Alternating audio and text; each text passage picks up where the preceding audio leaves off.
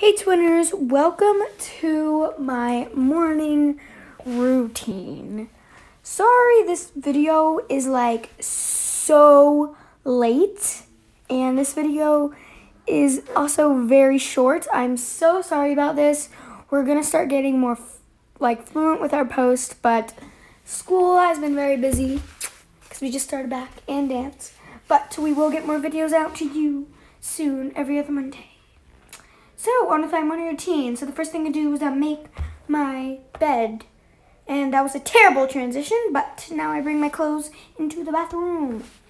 And in the bathroom is where I brush my teeth. Now it's time to do my hair, which is the thing that takes the longest and is the hardest, but I eventually get it. Then it's time for skincare. I use my Florence face mist and roll my face. I have no clue why I roll my face. But it just feels really good, so I just do it. Now it's time to eat breakfast, having a bagel. What a surprise. I have bagels every single morning, but yeah.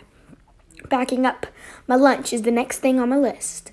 Then the last thing is packing my water bottle, my lunchbox, and my lanyard, and my hair went up because I didn't want it down. Um, checking, make sure I have everything, closing it up.